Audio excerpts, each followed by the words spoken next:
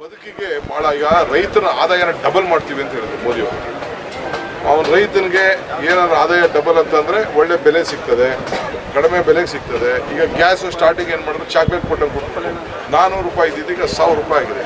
ಹಾಗೆ ಸಬ್ಸಿಡಿ ಕೊಡ್ತೀವಿ ಕೊಡ್ತೀವಿ ಸೊ ಅವನಿಗೆ ರೈತನಿಗೆ ಎಲ್ಲ ಬೆಲೆ ಜಾಸ್ತಿ ಆಗ್ತದೆ ಅವನು ಬೆಳೆದಂಥ ಬೆಲೆ ಮಾತ್ರ ಎಂ ಆರ್ ಪಿ ಆಗಲಿ, ಬೇರೆ ಆಗಲಿ ಮಿನಿಮಮ್ ಸಪೋರ್ಟ್ ಪ್ರೈಸ್ ಕೂಡ ಇಲ್ಲ. ಎ ಪಿ ಎಂ ಸಿನೂ ತೆಗೆದಿದ್ದಾರೆ ಸೊ ರೈತನ ಬದುಕು ಭಾಳ ಕಷ್ಟ ಆಗ್ತಾ ಇದೆ. ಅದಕ್ಕೆ ಏನು ಅಂತ ತಿಳಲಿಕ್ಕೆ ನಾನೇ ನನಗೆ ಬೇರೆ ಟಿ ವಿಲಿ ನೋಡ್ತಾ ಇದ್ದೆ. ನಾನು ಹುಬ್ಳಿಯಿಂದ ಫೋನ್ ಮಾಡಿದ್ರು ಬೇರೆ ಕಡೆಯಿಂದ ಮಾಡಿದ್ರು ನಮ್ಮ ತಾಲೂಕಲ್ಲಿ ಫೋನ್ ಮಾಡಿದ್ರು ಏನೋ ತಿಳಿದ್ರು. ಅದೆಲ್ಲಪ್ಪ ನನಗೆ ಕಣ್ಣಲ್ಲಿ ನೋಡಬೇಕು ಕಿವಿಲಿ ಕೇಳಬೇಕು. ಅಧಿಕಾರಿಗಳ ಜೊತೆ ಮಾತಾಡಿದ್ರೆ. ಅಂತ ಇನ್ನ ನಾನು ಮಾತಾಡ್ತೀನಿ. ಅಧಿಕಾರಿತ ಫಸ್ಟ್ ನಾನು ಗ್ರೌಂಡ್ ಲೆವೆಲ್ ಅಲ್ಲಿ ತಿಳ್ಕೊಂಡೆ ಸರ್. ಆ ಗ್ರೌಂಡ್ ಲೆವೆಲ್ಗೆ ರೈತನು ಕೇಳಿದ್ದೀನಿ ಡಿಸ್ಟ್ರಿಬ್ಯೂಟರ್ ಕೇಳಿದ್ದೀನಿ ಈಗ ಕೂಡ ಇದೇ ಸಮಸ್ಯೆ ಇದೆ. ಅದನ್ನ- ಅದನ್ನ ನಾನು ಮುಂದೊಂದು ದಿನದಲ್ಲಿ ಇನ್ನ ಕೆಲವರೆಲ್ಲ ನಾನೆಲ್ಲ ಬರ್ತಾರೆ. ನಮ್ಮ ಪ್ರತಿನಿಧಿಗಳು ಅವ್ರ ಜೊತೆ ಎಲ್ಲ ಚರ್ಚೆ ಗೊಬ್ಬರ ಸಮಸ್ಯೆ ಅಂತೇಳಿ ಮಾಗಡಿ ಬಂದಿದ್ರೆ ಒಂದ್ ಕಡೆ ಮಾಜಿ ಮಾಗಡಿಯ ಶಾಸಕರು ಇಲ್ಲಿ ಗೊಬ್ಬರದ ಸಮಸ್ಯೆನೇ ಇಲ್ಲ ಅಂತೇಳಿ ಅವರು ಕೂಡ ಒಂದು ಲೆಟರ್ ಅನ್ನ ಫೇಸ್ಬುಕ್ ಅಲ್ಲೆಲ್ಲ ಹಾಕಿದ್ದಾರೆ. ಪಾಪ ಯಾಕೆ ಪಾಪ ಅವ್ರದ್ದೇನೋ ಅಂಡರ್ಸ್ಟ್ಯಾಂಡಿಂಗ್ ಅಲ್ಲಿ ಅವ್ರು ಅಂಡರ್ಸ್ಟ್ಯಾಂಡಿಂಗ್ ಅಲ್ಲಿ ಅವ್ರು ಕೆಲಸ ಮಾಡ್ತಾ ಇದ್ದಾರೆ. ನಮ್ಗೆ ಈ ರೈತ ಬದುಕಬೇಕು ಅಷ್ಟೇ ಪ್ರಕಾರ ರೈತ ಪಾಪ ಅವನು ಬದುಕೋದೇ ಕಷ್ಟ. ಎಲ್ಲೂ ರೈತನ ಬೆಲೆ ಹಾಲಿನ ಬೆಲೆ. ಈಗೆಲ್ಲ ಹಾಲಿನ ಬೆಲೆ ಜಾಸ್ತಿನೇ ಮಾಡ್ತಾ ಇಲ್ಲ. ಏನು ನಾಲ್ಕು ರೂಪಾಯಿ ಐದು ರೂಪಾಯಿ ಮಾಡಿದ್ರೆ ಸೊಸೈಟಿ ಅವ್ನಿಗೆ ಇನ್ನು ಡೈರೆಕ್ಟಾಗಿ ರೈತರಿಗೆ ಸಿಗ್ತದೆ. ಗ್ರಾಹಕರು ಕೊಡ್ಲಿ ಬಿಡಿ. ಒಂದು ನಾಲ್ಕೈದು ರೂಪಾಯಿ ಜಾಸ್ತಿ ಹಾಲು ಕೊಟ್ಟರೆ ಏನಾಗ್ತದೆ? ನೀರಿಗೆ ಎಷ್ಟೋ ಕೊಡ್ತೀವಂತೆ. ಹಾಲಿನ ಬೆಲೆ, ಈಗ ನೀರು ಬೆಲೆಗೂ ಹಾಲಿನ ಬೆಲೆಗೂ ಏನು ವ್ಯತ್ಯಾಸ ಆಗ್ತಾ ಇಲ್ಲ. ಒಂದೇ ರೇಟ್ ಕಾಣ್ತಾ ಇದ್ದೀವಿ ಸೊ ನಾನು ನಮ್ಮ ಜಿಲ್ಲೆ ಅತಿ ಹೆಚ್ಚು ಹಾಲು ಪ್ರೊಡ್ಯೂಸ್ ಮಾಡ್ತಾ ಇದ್ದೀವಿ. ನಮ್ಮದು ಕೋಲಾರ. ಈ ಸುತ್ತಮುತ್ತಲು ಎಲ್ಲ. ಸೊ ನಮ್ಮದು ಹಾಲನ್ನು ಹಾಲನ್ನು ಬೆಂಗಳೂರಿಗೆಲ್ಲ ಸಪ್ಲೈ ಮಾಡ್ತಾ ಇದ್ದೀವಿ. ಸೊ ರೈತನಿಗೆ ಸ್ವಲ್ಪ ಯಾಕೆಂದರೆ ಫೀಡ್ಸ್ ಬೆಲೆ ಎಲ್ಲ ಡಬಲ್ ಆಗುತ್ತೆ. ಬೀಡ್ಸ್ ಬೆಲೆ ಏನಿತ್ತು ಅದೆಲ್ಲ ಡಬಲ್ ಆಗಿದೆ. ಆಮೇಲೆ ಜನ ಕೂಡ ಹೈನುಗಾರಿಕೆ ಮೇಲೆ ಹೆಚ್ಚಿಗೆ ಒತ್ತನ್ನು ಕೊಡ್ತಾ ಇದ್ದಾರೆ. ಸೊ ಅದಕ್ಕೆ ಪ್ರೋತ್ಸಾಹವನ್ನು ಈ ಸಂದರ್ಭದಲ್ಲಿ ನಾವು ಕೊಡಬೇಕಾಗ್ತದೆ ಹೆಚ್ಚಿಗೆ.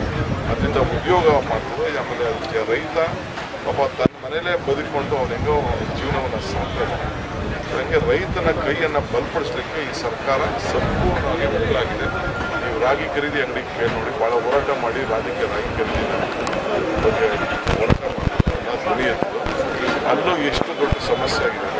ಒಟ್ಟಾರೆ ಇವತ್ತು ನಾನು ರೈತರ ಬದುಕಿನ ಬಗ್ಗೆ ಗೊಬ್ಬರ ಗೊಬ್ಬರ ವಿಚಾರದಲ್ಲಿ ನಾನು ಏನು ಅಂತ ವಾಸ್ತವಾಂಶ ತಿಳಿಲೇಬೇಕು ಅಂತ ಇಲ್ಲಿ ಮಾಡಿದ್ದೆ. ಜೊತೆಗೆ transformer H D S scheme ಅಂತ ಇಡೀ ನಮ್ಮ ಜಿಲ್ಲೆಯಲ್ಲಿ ಪೇರೆಂಟ್ ಪಾರ್ಟಿ ಒಬ್ಬೊಂದು ರೈತನಿಗೆ ಒಂದೂವರೆ ಲಕ್ಷ ಅಷ್ಟು ಖರ್ಚಾಗ್ತದೆ ಈಗ ಅದನ್ನು ನಿಲ್ಲಿಸ್ಬಿಟ್ಟಿದ್ದಾರೆ. ಅವ್ನ ಕೈಲಿ ದುಡ್ಡು ಕಟ್ಸ್ಕೊಂಡ್ರು ಕೂಡ ಇಪ್ಪತ್ತೈದು ಮೂವತ್ತು ಸಾವಿರ ಕಟ್ಸ್ಕೊಂಡಿದ್ದಾರೆ. ಎರಡು ವರ್ಷ ಮೂರು ವರ್ಷ ಅದು ಟ್ರಾನ್ಸ್ಫರ್ ಒಂದು ಸಾವಿರ ಸುಮಾರು ನಾಲ್ಕು ಸಾವಿರ ಅಪ್ಲಿಕೇಶನ್ ಈಗ ಮುಂದಿದೆ ಸೊ ರೈತನಿಗೆ ವಿದ್ಯುತ್ ಶಕ್ತಿ ಟ್ರಾನ್ಸ್ಫರಲ್ಲಿ ನ್ಯಾಯವನ್ನು ನಮ್ಮ ಜಿಲ್ಲೆ ಪೈಲಟ್ ಪ್ರಾಜೆಕ್ಟ್ ಆಗಿ ತೊಗೊಂಡಿದ್ದೇವೆ. ಅವನಿಗೆ ಸಂಪೂರ್ಣವಾದಂಥ ಪ್ರತಿಯೊಬ್ಬನು ಕೂಡ ಟ್ರಾನ್ಸ್ಫರ್ ಮಾಡಿದ್ರೆ ಉಚಿತವಾಗಿ ಅವನಿಗೆ ಸಹಾಯ ಮಾಡಬೇಕು ಜಮೀನನ್ನು ಫಾರೆಸ್ಟ್ ಜಮೀನನ್ನು ಒಪ್ಲೆಬಿಸುವಂಥ ಕೆಲಸ ಈ ಭಾಗದಲ್ಲಿ ನಡೀತಾ ಇದೆ. ಅದನ್ನು ಕೂಡ ನಾವು ಮುಂದಿನ ದಿನದಲ್ಲಿ ನಮ್ಮ ಮನೆ ಚಿಂತನೆ ಶಿಬಿರದಲ್ಲೂ ಕೂಡ ಯಾವ ರೈತನಿಗೂ ಕೂಡ ಫಾರೆಸ್ಟ್ ಜಮೀನನ್ನು ಒಕ್ಕಲು ಮಾಡಬಾರ್ದು. ಬೇರೆ ಸೆಂಟ್ರಲ್ ಗೌರ್ಮೆಂಟ್ ಕಾನೂನು ಏನಿದೆ, ಆ ಕಾನೂನು ಇಪ್ಪತ್ತೈದು ವರ್ಷಕ್ಕೆ ಸೀಮಿತವಾಗಿರಬೇಕು ಎಲ್ಲ ರೈತರಿಗೆ ಅಂತ ಹೇಳ್ತೇವೆ. ನಾನು ರಾಜ್ಯದ ಎಲ್ಲ ರೈತರಿಗೂ ಮನವಿ ಮಾಡ್ಕೊಳ್ತೇನೆ. ಯಾವ ಕಾರಣಕ್ಕೂ ನಿಮ್ಮ ಜಮೀನನ್ನು ನೀವು ಬಿಡ್ಬೇಕು ಹೋಗಬೇಡಿ. ಭದ್ರವಾಗಿ ಒಪ್ಕೊಳ್ಳಿ. ಇಪ್ಪತ್ತೈದು ಎಸ್ ಸಿ ಇತ್ತು ಎಸ್ ಟಿ ಇತ್ತು ಬೇರೆಯವ್ರಿಗೆಲ್ಲ ಎಪ್ಪತ್ತೈದು ಇತ್ತು. ಅದನ್ನ ಎಲ್ಲರೂ ಕೂಡ ಇಪ್ಪತ್ತೈದೇ ಮಾಡಬೇಕು ಅಂತೇಳಿ ನಾವು ನಿರ್ಣಯ ಕೂಡ ಮಾಡಿ ಒತ್ತಾಯ ಮಾಡ್ತಿದ್ವಿ ಸೊ ರೈತರು ಜಮೀನನ್ನ ಎಷ್ಟೇ ಒತ್ತಡ ಆದ್ರೂ ನೀವು ಬಿಡಕ್ಕೆ ಹೋಗಬೇಡಿ. ನಿಮಗೆ ಒಂದು ಕಾನೂನನ್ನು ತರುವಂಥ ವ್ಯವಸ್ಥೆ. ಇವತ್ತು ನಾನು ಮಾಗಡಿಲಿ. ಮಾತಾಡ್ಬೇಡಿ. ಮಾತಾಡ್ಬೇಡಿ. ಮಾಗಡಿ ಅಂದ್ರೆ ಬೆಂಗಳೂರಿನ ಕಟ್ಟಂತ ಜನ. ಬೆಂಗಳೂರಿಗೆ ತರಕಾರಿ ಕೊಡ್ತಾ ಇರೋಂಥ ಜನ. ಹಾಲು ಕೊಡ್ತಾ ಇರೋಂಥ ಜನ. ರೇಷ್ಮೆ ಇವೆಲ್ಲ ಕೂಡ ಒಣ ಬೇಸಾಯ ಮಾಡ್ತಾ ಇದ್ದಾರೆ. ಯಾವುದು ದೊಡ್ಡ ನದಿ ಆಗಲಿ ನೀರಾವರಿ ಎಲ್ಲ ಇಲ್ಲ. ಸೊ ಅದಕ್ಕೆ ನಾನು ಬಂದು ಈ ಮಾಗಡಿ ರೈತರ ಹತ್ರ ಮಾತಾಡಬೇಕು ಅಂತೇಳಿ ಬಂದಿದ್ದೆ. ಕಳೆದ ಆರು ಏಳು ವರ್ಷದಿಂದ